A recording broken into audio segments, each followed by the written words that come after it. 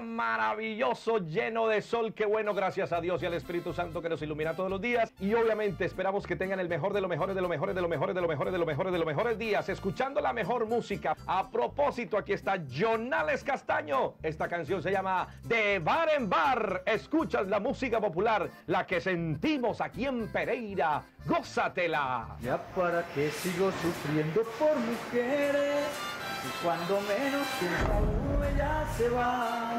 Me he convencido que entre uno más la quiere, al final terminan pagándole a uno mal. Le pagan mal, le pagan mal, al final terminan pagándole a uno mal. Yo creo que Pereira es como el Hollywood de la música popular. Aquí en Pereira usted encuentra todo.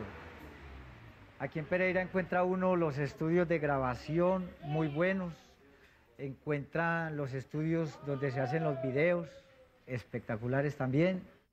Están los artistas, está el ambiente, están las mujeres, están los bares, están canales de televisión dedicados a esto. Es como para Valledupar la el, el vallenato. Uno para ver a Silvestre Dangón o a Peter Manjarres o a los hermanos Zuleta, pues tiene que ir hasta Valledupar. Los de Valledupar tienen que venir hasta acá, ver a Johnny Rivera y ver a nuestros artistas acá, caminando por las calles normalmente. Entonces este es el Hollywood de la música popular.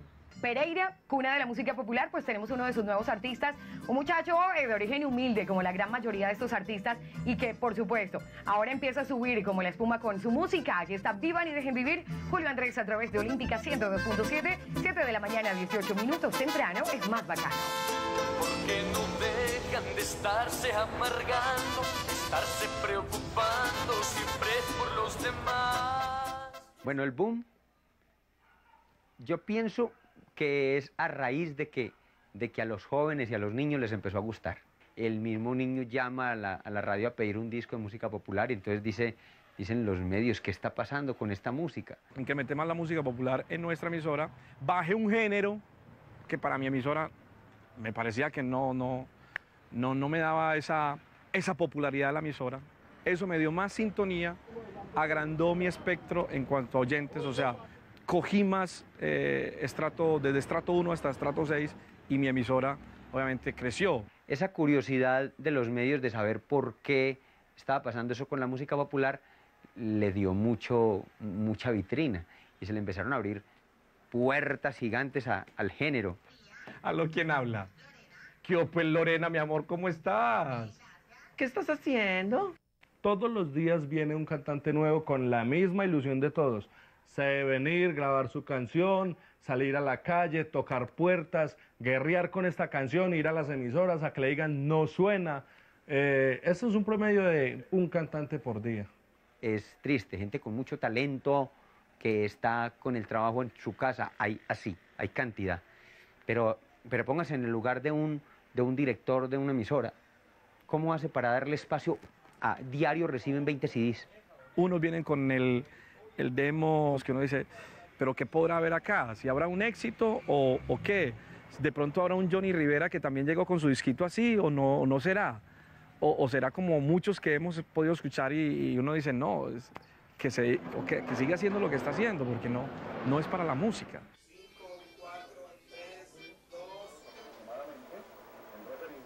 Bueno, la música popular pues tiene un historial bastante largo, ¿cierto? Existe una vieja escuela que tenemos allá a Darío Gómez, tenemos al Charrito Negro, Bandida, mil veces bandida, esto te lo mereces por ser conmigo así. Juraste que me amabas, que mucho me querías, pero andabas con otro burlándote de mí. Se viene a notar una gran diferencia en este género cuando entra al mercado el señor Johnny Rivera, eh, conocido por todos por sus letras, sus grandes letras que habla en un lenguaje que entiende el pueblo. Johnny Rivera arrancó de puerta en puerta. Llegaba a los eh, escenarios, a las actividades de las emisoras aquí en la ciudad de Pereira, a decirle a- al director, déjeme cantar, que yo sé cantar. Algunos no creyeron en él, muchos no creyeron en él. Yo dije, pues si no les gustó la radio, pues voy a buscar otra forma de mercadeo. Pues, mi hermano manejaba buceta, entonces dice, eh, como cuando uno eh, no- de niño no se quiere tomar el remedio, entonces la mamá se inventa y lo mete entre un pan con mermelada. Hágale, mijo. Yo dije, si no se lo comieron así, entonces de otra manera. Y entonces grabé casés y mi hermano manejaba una buceta. Y ese disco, ruede, ruede, imagínense, los, los pasajeros se los- se lo, lo consumían a las buenas o a las malas. Un saludo muy especial para toda la gente que a esta hora está manejando la buceta, el bucetero. Un saludo muy especial para el taxista también.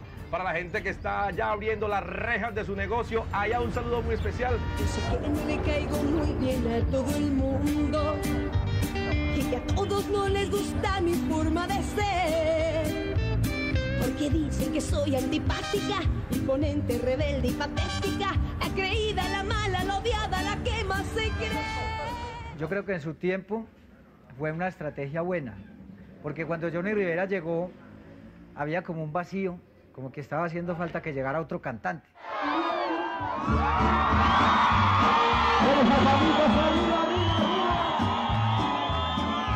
Voy a regalar un CD a una barra bien loca.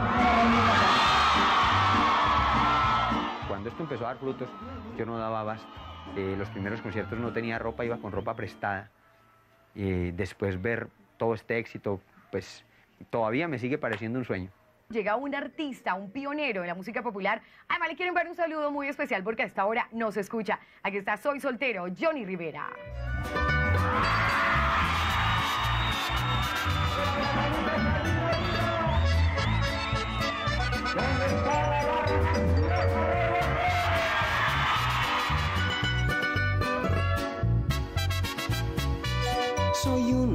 Soltero, no tengo compromiso para irme pa' la calle, a nadie pido permiso.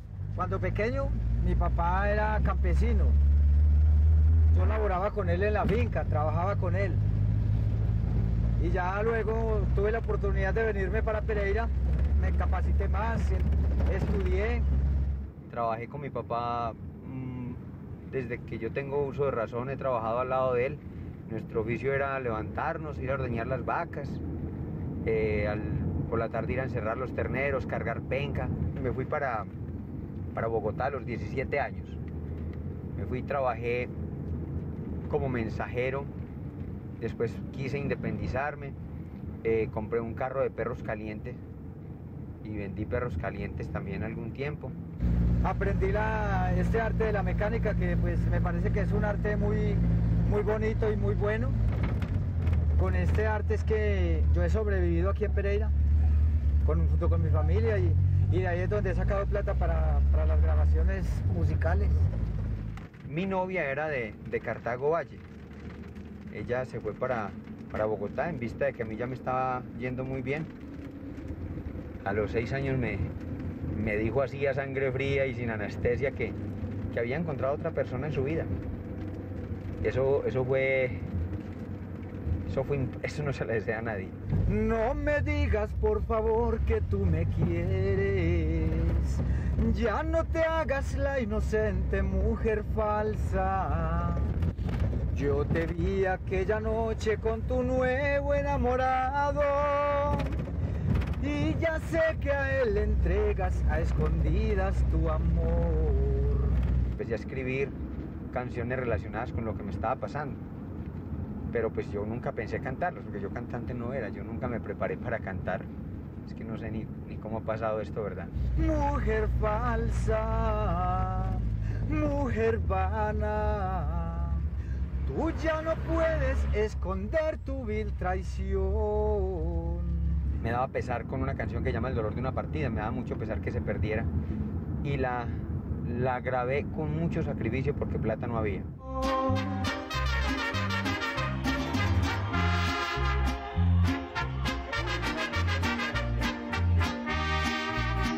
Bueno, esa canción fue un exitazo y ahí nació, ahí nació mi carrera. Vivencias de todos los días de mucha gente en Colombia. 120 composiciones, está listo el video. Ahí está listo entonces la invitación entonces para que vean esta reflexión. Aquí está Roger, invitado especial hoy en línea con el popular. Cinco, cuatro, tres, dos. Si tú no tienes con qué, ni siquiera el taxi que tú manejas te da con qué, digamos, mantener a tu familia y ves un personaje de una vereda un personaje como Johnny Rivera. Si yo veo que esta gente surge, tiene ya su supercarro, chicas, todo el cuento, pues obvio yo también me les pego al parche. Definitivamente la música popular ahora está eh, siendo tan reconocida que obviamente se están obteniendo premios fuera de obtener premios los artistas que ahora nos están representando a nivel nacional e internacional, pues obviamente eso le representa económicamente mucho dinero. Entonces la gente ya vio también la música popular como un medio para obviamente conseguir dinero y por supuesto la fama. Diferencias, insultos de todo acepté, pero al saber que me engañabas hasta ahí aguanté.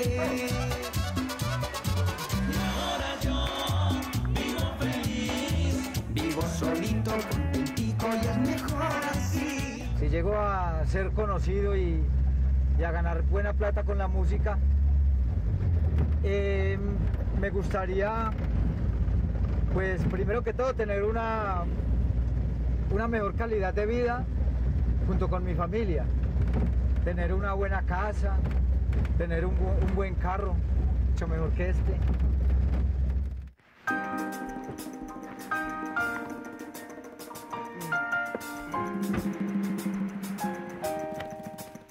Lo del carro es, es, es un logro grande, un logro grandísimo. Poder, poder uno cumplir un sueño que de niño tuvo es, es muy lindo, ¿no? Uno, uno ver un carro por dentro, bonito, eso, eso da, da emoción. Tener plata para llevar mi familia, llevarlos a pasear, para darles buen gusto, tenerlos bien, bien económicamente. Yo aspirar a, a más, parece que eso es ser muy descarado con mi Diosito. Yo no le pido más a la vida. Si llega algo más, bendito sea.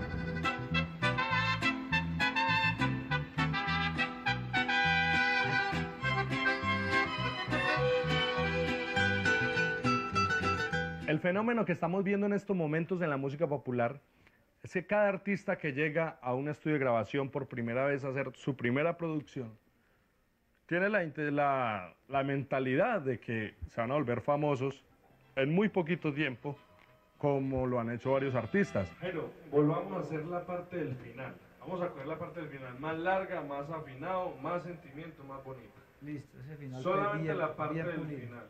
Los cantantes no pueden meterse en la cabeza de que solo venir y cantar y que la gente le gustó su canción y ya es exitoso, no. Yo siempre he pensado que quien tiene la capacidad de hacer algo diferente es quien logra triunfar. Esa canción que se llama El dolor de una partida es la única canción que le canta al ser, al- al- a la persona que, que- que murió, porque existen muchas, como Nadie es eterno, pero esas canciones es el muerto quien les canta a los que quedan. Cuando yo muera, levanten una... Todas esas canciones de los, de los que murieron como dejando un legado. Esta es al contrario. Solo Dios sabe el dolor de una partida. Cuando se quiere y se adora con el alma, aún recuerdo el día en tu despedida, que contigo te llevabas mi alma, mi alma. ¿Cuánto cuesta producir un trabajo de discográfico de música popular? Eso es como, como quien va a comprar zapatos. Los consigue de todos los precios. Eh, los precios de una producción musical en estos momentos pienso que son asequibles para la gente que se está presentando a cantar música popular. Es gente del campo, es gente que trabaja normal como cualquier persona, son mecánicos, eh, venden productos en la calle, entonces son precios asequibles para ellos. Quizás llegue otro amor, sea cual sea mi destino. Para ti no habrá rencor, sea cual sea mi destino. Para ti no habrá rencor.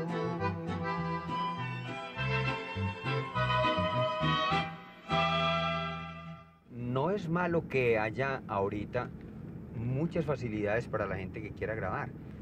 Lo que no es bueno, mm, desde mi punto de vista, es que hay mucha gente que no tiene el talento, no tiene la capacidad y empeñan hasta la nevera, pues, por irse en que, porque como el otro salió, que yo también salgo.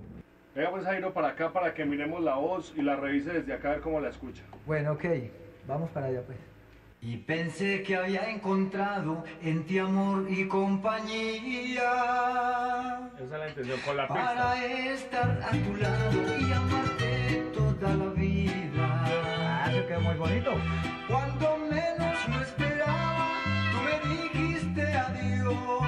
Esa parte donde sube la voz quedó bien, se Quedó, bien. quedó con buen A la sonido. hora de mezclarlo y de ponerle los efectos va a quedar muchísimo mejor. El paso duro, el que sí- es de esta puerta hacia afuera. Cuando usted sale del estudio hacia afuera es el paso, eh, el paso maluco, donde tiene que entrar a promocionar, a tocar puertas, a hablar con la gente, a hablar con las emisoras y todo este cuento.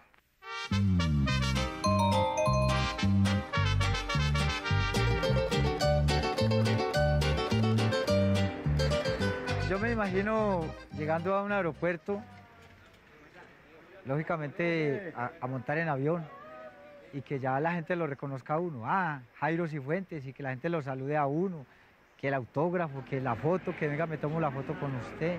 Esto es lo nuevo, ¿sí?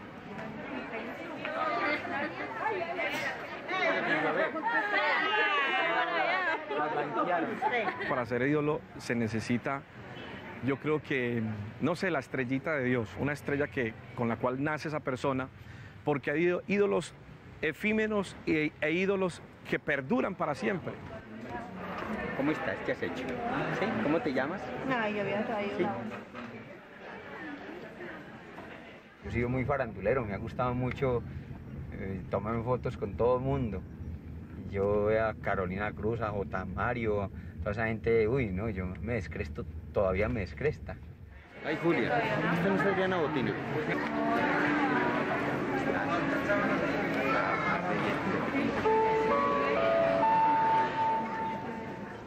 Yo nunca he montado en avión.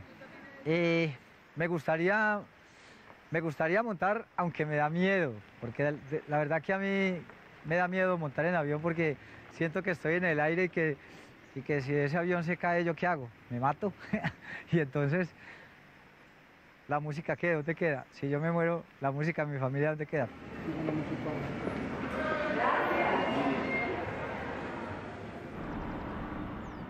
El tiempo, el tiempo se, se agotó.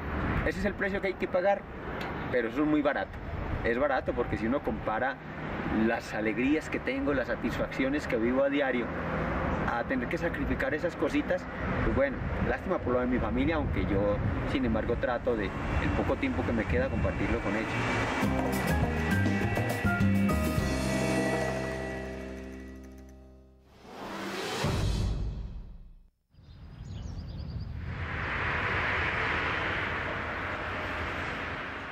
La estética del video de la música popular es diferente a los demás videos porque tú ves un video de vallenato, un video de salsa, de cumbia, ¿cierto? Puede ser muy, muy popular, pero el de, el de esta música de despecho representa la idiosincrasia de toda esta zona del eje cafetero.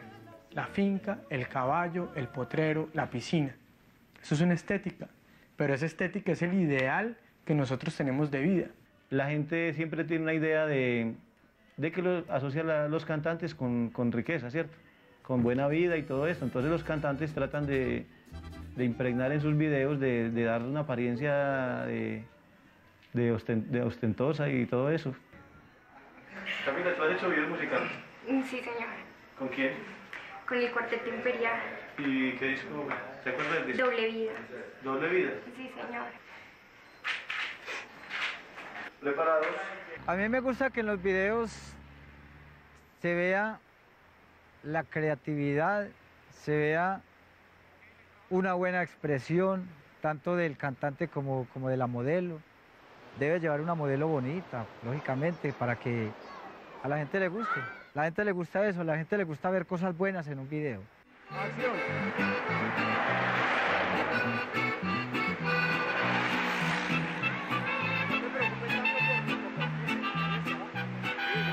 mirar hacia arriba. Ese es tu ángulo. Ese es un gran ángulo. Esto de la música popular es de, de creatividad, de crear cosas nuevas. Si un artista eh, se puede conseguir o alquilar una finca o pagarle a una mujer para que se desnude, puede más bien conseguirse sitios raros. Eh, más que todo es de creatividad. Por determinado tiempo estuviste junto a mí. Siempre de ti enamorado, yo fui el hombre más feliz. Y pensé que había encontrado en ti amor y compañía. Para estar a tu lado y amarte toda la vida. Que una canción de mi trabajo discográfico esté nominada a los premios del despecho sería algo grandioso, sería, mejor dicho, como ese premio grande, inmenso, a lo que uno poco a poco va haciendo, poco a poco, porque esto es un proceso largo. El dorado y plateado están en, furor. Piense que se va a encontrar muchos obstáculos para que cuando empiece a pasar diga, ve, no es tanto, ese Johnny es exagerado, eso no es tan, tan horrible como pensé. Y así se le hace todo más fácil.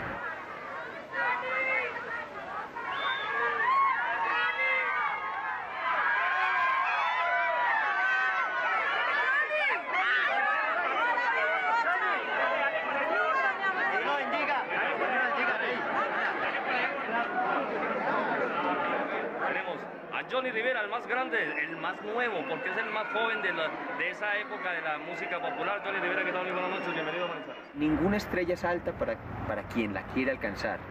En seis años que llevo de carrera, yo a veces he pensado que, que quizás ni me merezca estar acá, porque nunca estudié música, nunca me preparé para estar en un escenario. Pero Dios ha sido muy, muy bueno conmigo, que me ha dado el don de escribir canciones y mis canciones han llegado a sus corazones. Este premio va a ocupar un puesto importante en mi casa porque yo considero que es el más importante de mi carrera. Muchas gracias. El futuro de la música popular depende de la calidad con la que ellos trabajen.